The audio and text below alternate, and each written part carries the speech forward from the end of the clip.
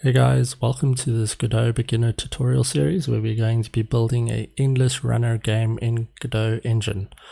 So in this uh, tutorial we're going to start expanding on our scenes over here and we're going to incorporate a foreground and a background as well and then we're going to bring in the scrolling background scene as our decoupled scene which will give these uh, foregrounds and backgrounds a behavior.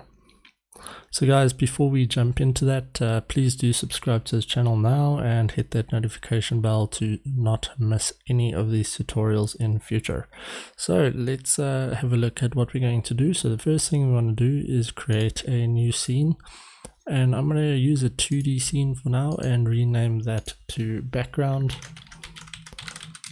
and I'm going to save that off and uh, what we want to do is just uh, make sure we've got a folder for this. So in our scenes, we're going to just create a folder called FGBG. So foregrounds and backgrounds.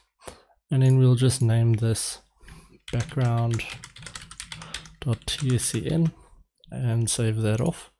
And then we'll create a foreground. So just another scene, 2D scene, rename that to foreground. Save that off and now let's work on the actual scrolling background function. So what we'll do is we'll use um, shaders in Godot to uh, just create the scrolling effect. So there's many ways of doing this. You could um, make changes to how you import your sprites and make them tileable and scrollable. But uh, what we'll do is we'll use shaders, one for you to learn how to use shaders and what they are. And then second, for us to be able to utilize the GPU to do the scrolling instead of the CPU.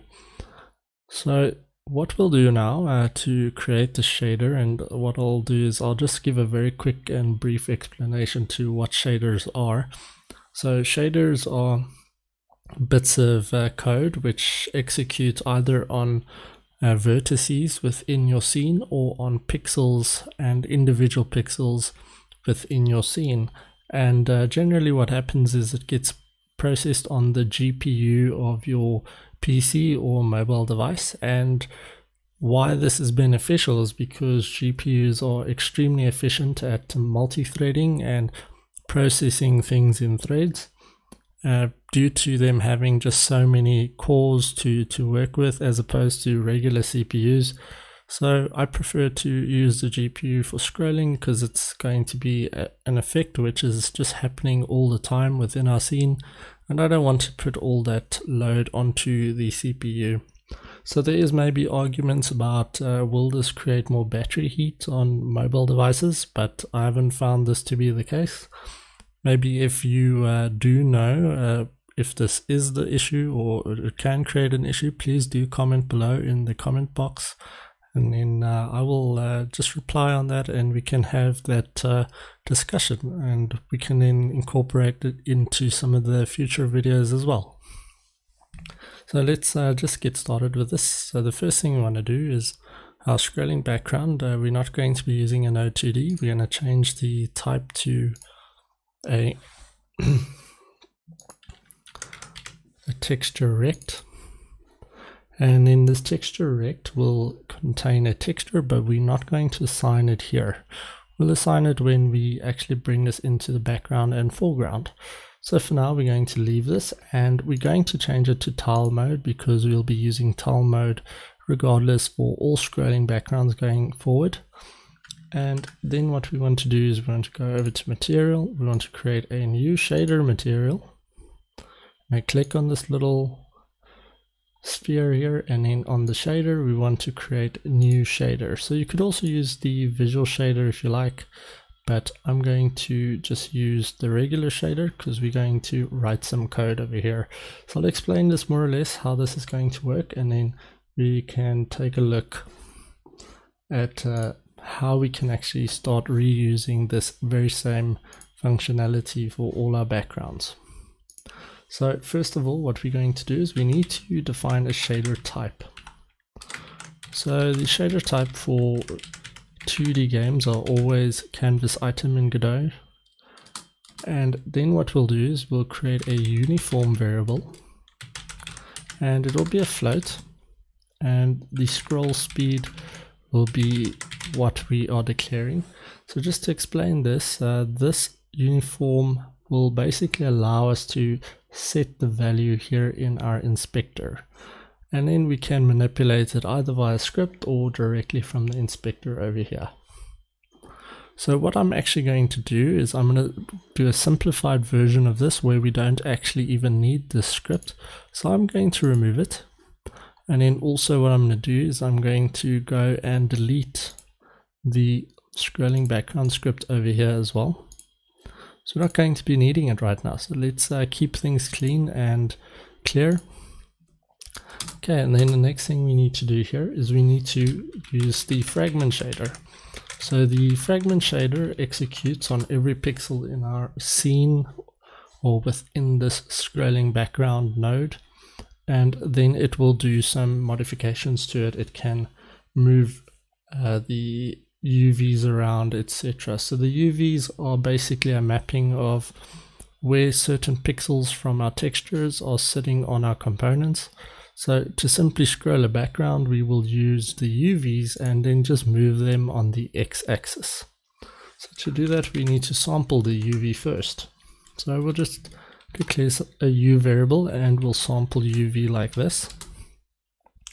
Then we'll take the u.x and we'll add the scroll speed and we'll multiply that by time to allow it to increment over time. And then we'll take a sample of the color from the texture.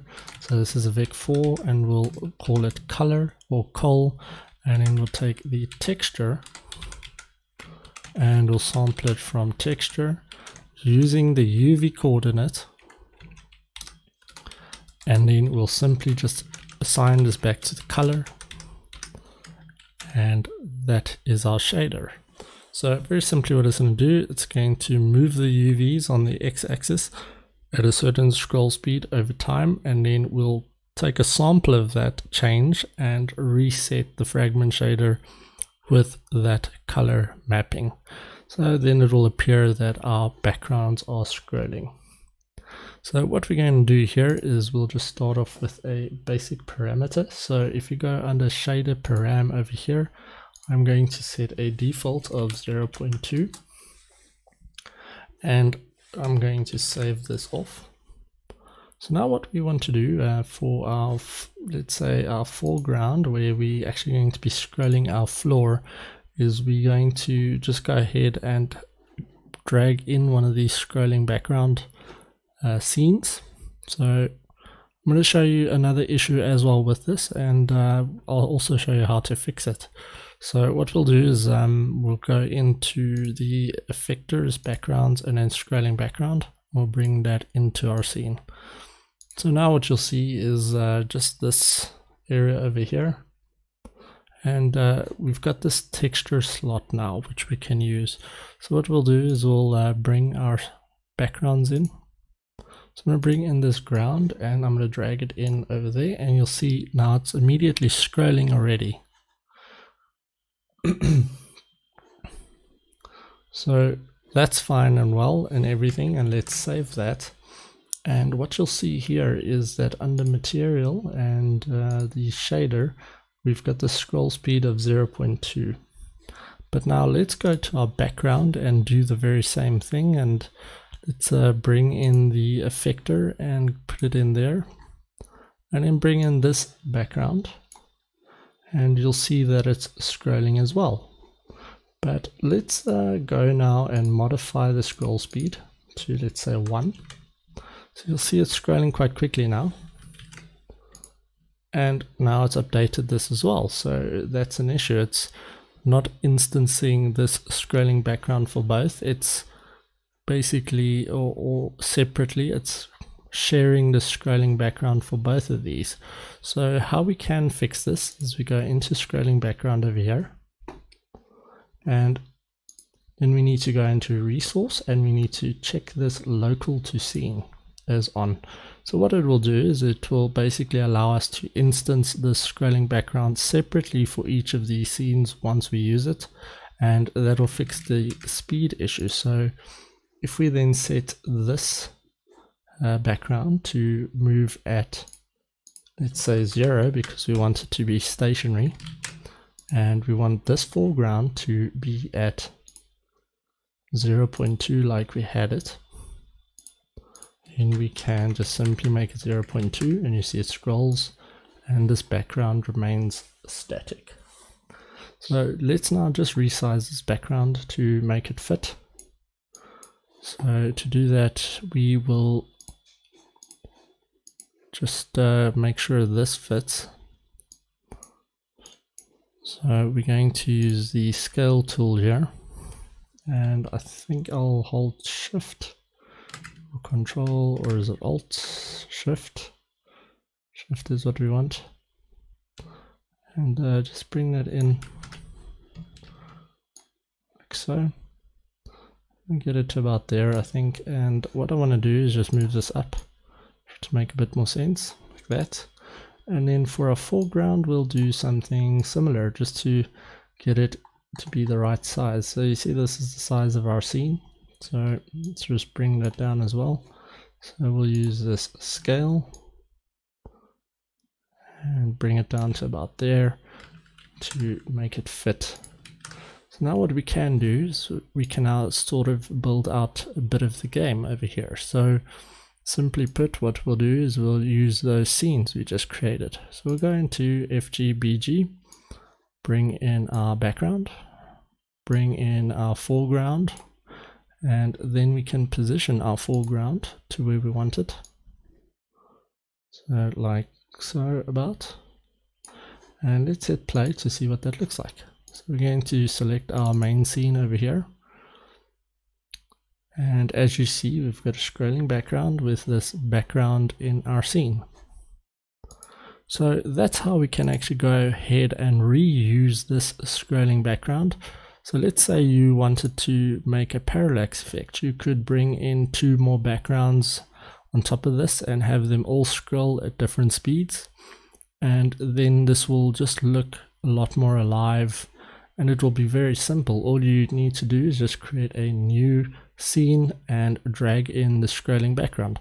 So that's what we talk about when we talk about reuse and uh, you know a single responsibility so this uh, scrolling background has a single responsibility to just scroll backgrounds for us so guys basically that's the end of this tutorial for now and we'll start bringing in more effects etc in the next tutorial but uh, thanks a lot for watching and uh, if you did like this video please do like it below and you know uh, just uh, post some comments and questions uh, if you have any. And uh, if you haven't subscribed yet, also subscribe so that you can get to see all these videos. And I'll thanks a lot again for watching, and I'll see you in the next one. Cheers.